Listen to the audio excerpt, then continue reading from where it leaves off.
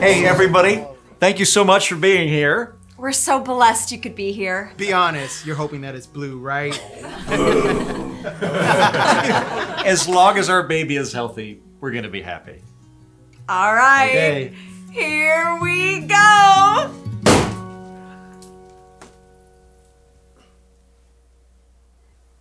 Huh?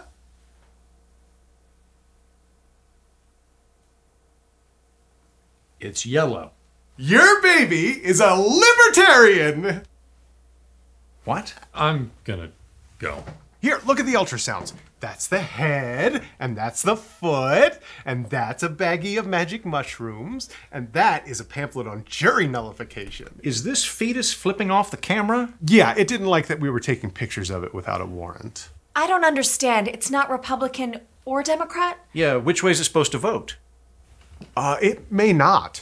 God. God? What kind of God would do this to a loving family? Did we do something wrong?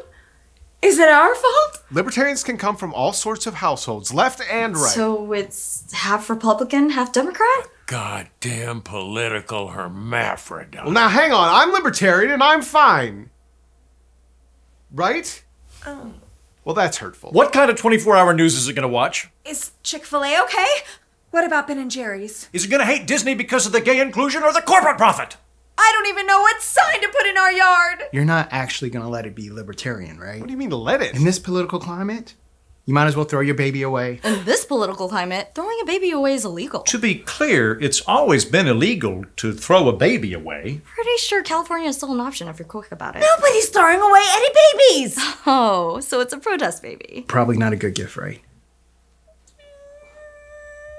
Honey, are you crying? You know, you could probably exchange it for Bitcoin. We're keeping the baby. The book! You although in a truly capitalist society, you should be Oh my god, this again. Everybody, listen up. Yes, we're having a non binary child. And yes, it's gonna be a monster we all invariably blame the downfall of democracy on because it spoils the election for the good party. My party. My part. My part. my part. Either way, this is technically our child. And we are gonna love this political Quasimodo and hope that someday an evangelical youth group or a sneering university indoctrination forces it to pick a lane. But until then, we just need some time to process what's happened to our family and maybe start digging a nursery bunker. All right, let's give him some space, guys. Wait, so is it a boy or? It's definitely a boy. Obviously. Probably be a girly. It's probably gonna come out with a beard.